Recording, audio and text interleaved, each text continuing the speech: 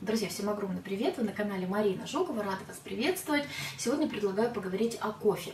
Кто смотрит меня регулярно, знает, что я большая поклонница этого напитка. Я практически не пью чай и выпиваю в день как минимум 4 чашки кофе.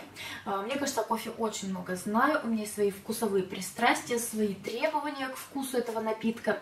А, многие меня подписчики спрашивали, какой бренд, какую марку кофе я больше всего люблю. А, на самом деле, друзья, я постоянно экспериментирую. Потому потому что кофе, оно у у одного продавца часто меняется по вкусу. Вот у меня был такой период, когда я полгода пила кофе одного и того же производителя, заказывала на Wildberries. А, но последних два раза кофе приходило жутко кислое. А, третий раз пришло жутко горькое, сами зерна мелкие, поэтому решила попробовать что-то новенькое. На Озон заказала а, кофе производителя Пуршат.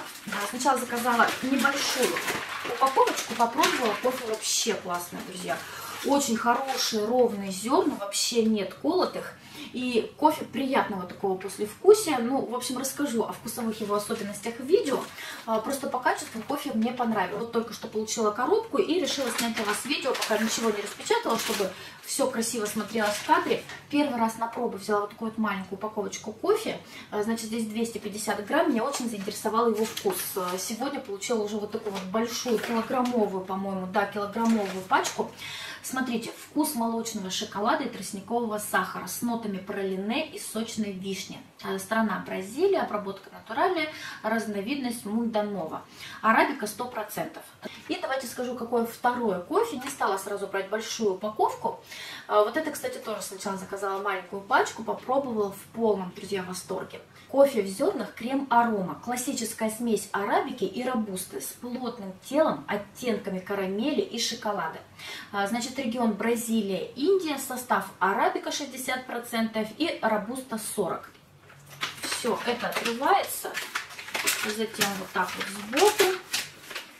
И получается а, вот такой вот кармашек, который открывается, закрывается, то есть кофе полностью не теряет свои вкусовые качества. Показываю вам кофе в зернах. Это кофе вот из этого большого пакета, то есть вкус молочного шоколада, тростникового сахара с нотами пролине и сочной вишни.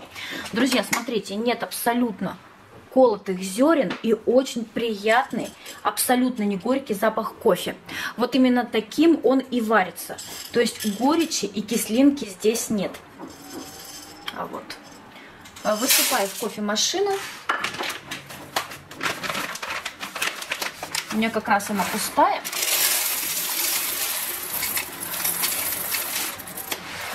Вот, смотрите светлый, абсолютно светлый кофе. Если только кофе черный, вот я заметила, обязательно будет горечь. На замочек закрыла, все. Аромат кофе сохраняется. Ставлю свою любимую кружечку. Кружечка у меня прозрачная, не обжигает руки. И модель кофемашины у меня Philips. Кстати, многие спрашивали. У меня Philips кофемашина. Включаю, выбираю кофе, крепкий и большую чашку.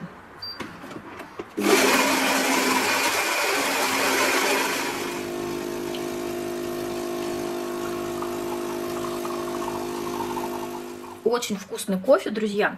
А, вкус мягкий и послевкусие действительно шоколадное. А, то есть не вкус э, у кофе становится как какао, да, а вот просто послевкусие вот отдаленно чувствуется шоколадка. А, вкус вишни я не чувствую, но я уж не такой гурман, но могу точно сказать, что кофе приятный. И вкус шоколадный есть. Значит, что еще могу вам сказать? Сейчас поближе покажу вам цвет. Цвет достаточно темный. Пробую кофе из маленькой упаковочки. Будем дегустировать с вами вместе. А, раньше это кофе не покупала. Значит, здесь после вкусия должно быть с оттенками карамели и шоколада. Давайте сначала посмотрим на зерна. Так, смотрите, друзья. Тоже абсолютно чистые зерна. Вот сейчас насыплю вам побольше. Вообще нет колотых. Все целые.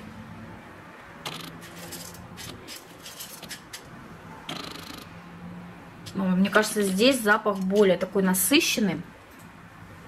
Вот, такое красивое кофе. Высыпаю в кофемашину. Итак, друзья, кофе готово. Смотрите, тоже легкая пенка. А, вот знаете, после вкусия такой вот, знаете, натуральный кофе, вот прям какой-то травяной вкус, вот прям самих зерен. И чувствуется какой-то молочный привкус. Вот шоколада я здесь не чувствую. Вот если в этой большой упаковке э, с кофе э, очень ярко выражен вкус шоколада, здесь вкус, э, вот знаете, кофейных зерен и отдаленно чего-то молочного. Но вкус очень приятный, и он другой. То есть вот иногда бывает, что покупаешь у одного производителя кофе вот с какими-то такими подоттенками вкусовыми, и они все одинаковые по вкусу. То есть э, разницы нет. Здесь кофе по вкусу разное. Поэтому, друзья, как заключение, мы сегодня тестировали с вами новинку кофе, ну, по крайней мере, для меня точно. А, значит, поэтому, если вы любите мягкий, шоколадный вкус кофе, вот это кофе вам однозначно понравится. Я ставлю ссылку на это кофе, потому что упаковки абсолютно одинаковые, чтобы вы не запутались. То есть э, вот это вот кофе, шоколад, тростниковый сахар с нотами пролине и сочной вишни. А вот у этого кофе натуральный вкус кофейных зерен. Вот если вы любите натуральное кофе, это кофе вам понравится. И вот этот вот молочный привкус делает кофе мягким по вкусу.